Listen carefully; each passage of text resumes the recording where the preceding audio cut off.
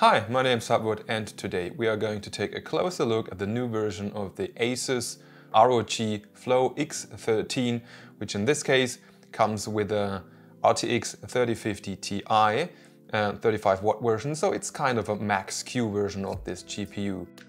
It's supported by the incredible Ryzen 9 5900HS, which is a super fast 7 nanometer, 8 core and 16 thread CPU.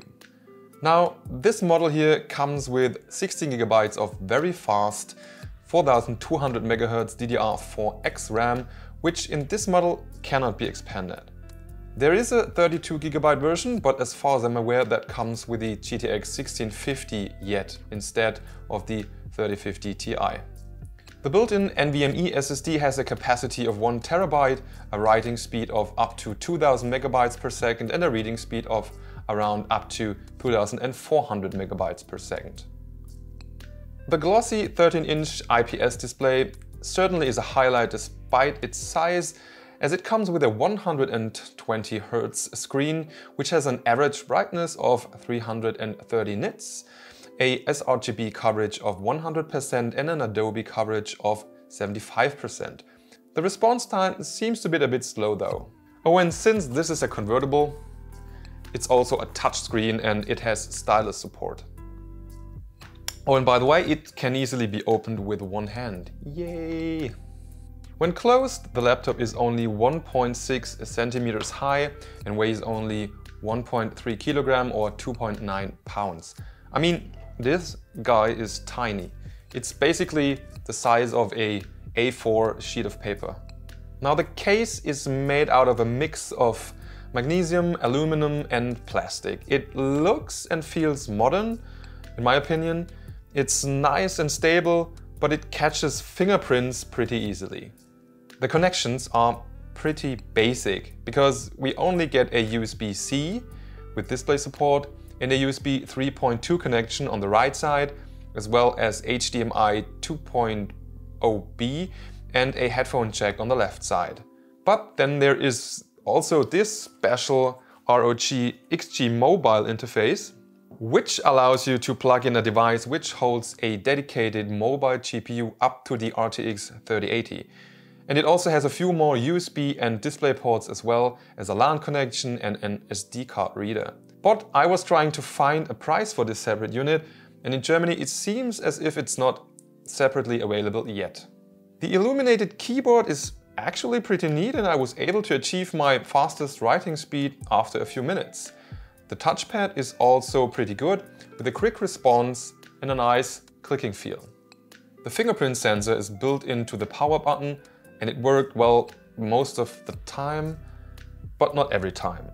But that somehow is the case for most fingerprint sensors with my fingers on laptops that I'm using. And I wonder if something is wrong with my finger. that tickles. By the way, this is what the integrated camera looks like and what the integrated microphone sounds like. Now the 62 watt hour battery allowed me to play Red Dead Redemption mobile for around mm, 85 to 90 minutes, which is not half bad in my opinion. And the performance drop when not plugged in is not as big as for bigger laptops. So I got around 35 FPS stable on medium settings, which is nothing I would complain about for such a tiny laptop on battery. When plugged in, playing Red Dead Redemption 2, the laptop was getting around 90 watts from the wall and the battery is not discharging even after long gaming sessions. Now the speakers, they don't get very loud, but they clearly have more bass than I was expecting. Definitely above average for such a small and thin Ultrabook. Talking about loudness, I was testing everything that I did with the Asus Turbo mode resulting in quite some fan noise of around 38 dB, which is not extremely loud for a gaming netbook, but then again, it's an ultrabook and um, using more silent profiles results in um, less noise but some performance loss. But for lighter games and capping the FPS, you could surely play with much less noise. Now when watching YouTube with a brightness of 50% using headphones and a loudness of 20%, I was getting around 6 hours of battery time, which is not terrible, I guess. By the way, the small 100 watt PSU um, charged the laptop for around 50% in about 30 minutes. Okay, now the Ryzen 9 in this thing is incredible. With only 35 watt, it scored 2050 points in Cinebench R15 on multi-core and 238 points in the single-core benchmark. On battery mode, the multi-core score was a bit lower with 1744 points and almost the same for the single-core performance with 231 points. In Cinebench R23 it scored 12,345 points in the multi-core test and 1,482 in the single-core benchmark. On battery, it scored 10,447 for the multi-core and almost identical 1,463 on the single-core test. In PCMark 10, it scored 6,127 when plugged in and 4,544 in battery mode. By the way, for all the benchmarks that I made for this video, I opened the laptop to 180 degrees because this would allow for a better air output for two of the three outtakes over here. And that way I was gaining around 5 to 10% in performance. So keep that in mind. You can see now the vents are open and if you have them like this, there's not much air going on and the laptop also relies on uh, some air beneath it.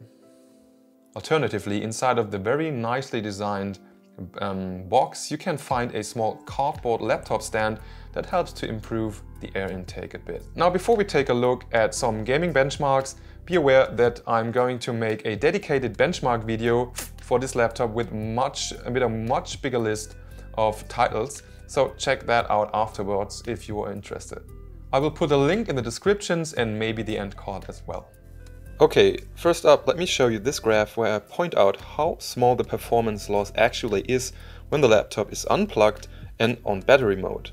In Far Cry 5 on high settings it only dropped from 79 FPS to 66 FPS, which is a reduction of only 16.4%.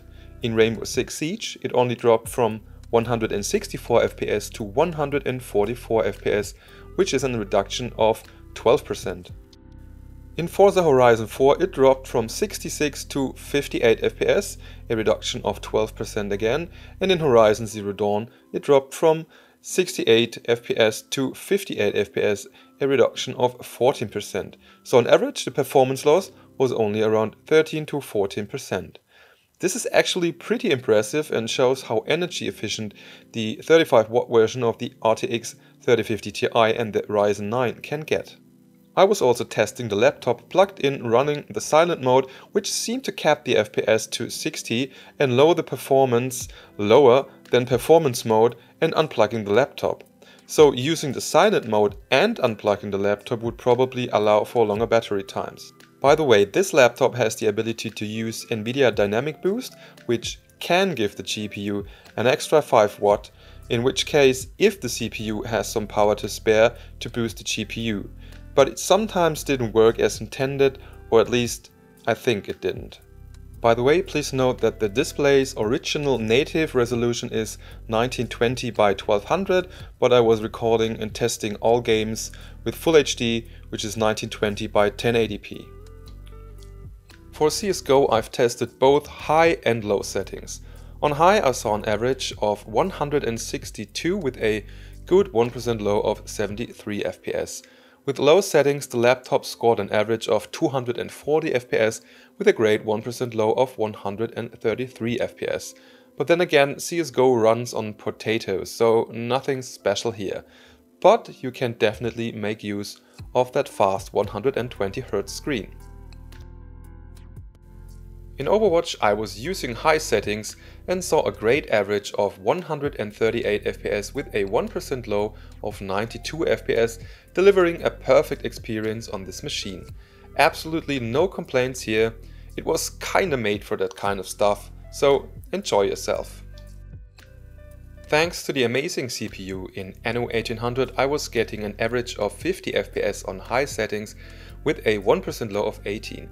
And of course those numbers are also highly depend on the size of your cities and whether you test it on small islands, the Arctic or your capital. So take those numbers with a grain of salt, but it's definitely playable and enjoyable and still looking great. For GTA 5 I was using my standard high settings mix and saw an average of 85 FPS with a 1% low of 61 FPS. I guess a lot of you will be playing that title as it was a gift from the Epic Store and the online mode is still so popular. Absolutely smooth and enjoyable, no problems here. Now who is this laptop for? Would I recommend it? Well, this is probably the world's smallest gaming laptop of its class, clearly. And the main reason to get it is that you actually really need a super small and super mobile laptop for mobility reasons and you want to still be able to have some decent um, gaming sessions on the go with quite some performance. Because price to performance wise, there are certainly much better options with 15 inch or 17 inch screens out there. Then again, the optional but heavily expensive Asus ROG XG connection allows for a very expensive upgrade with an RTX 3070 or RTX 3080 mobile. In Germany, this model costs 1800 euros.